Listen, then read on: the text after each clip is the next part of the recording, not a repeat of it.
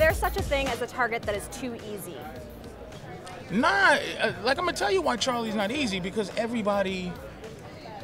If, if you you probably would say the same things I would say if you didn't know Charlie, but you had to roast him. So you know you would go, well, Charlie Sheen something something drinking, Charlie Sheen something something women, Charlie Sheen something something uh, babies, I guess, and Charlie Sheen something something stab, like Charlie Sheen blah blah blah.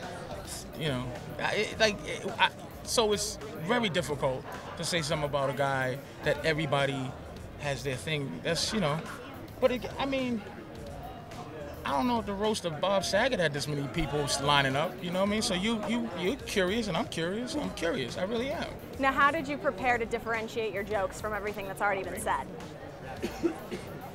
How did I structure my like? How did? What's the question? How did you prepare for this? Just because all the jokes have been said I'm gonna before, be honest you got to with you. do different ones. If I knew you, I'll go, oh, Sophie. Ah, Sophie does this, Sophie does that. Sophie has bullshit questions. I would know that.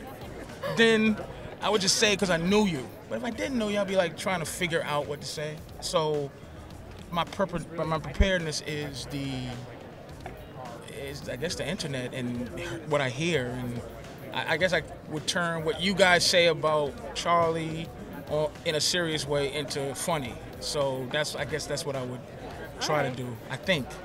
Or Fair have some in, some insight or whatever. You know what I mean? what was it like when you met Charlie for the first time? Never met him. Never met him. Don't know this motherfucker. So this is gonna be awkward. No? And no, that's what they these roast are. A bunch of motherfuckers that don't know each other talking shit. How do you think he's gonna handle it? He'll probably not even know what's going on.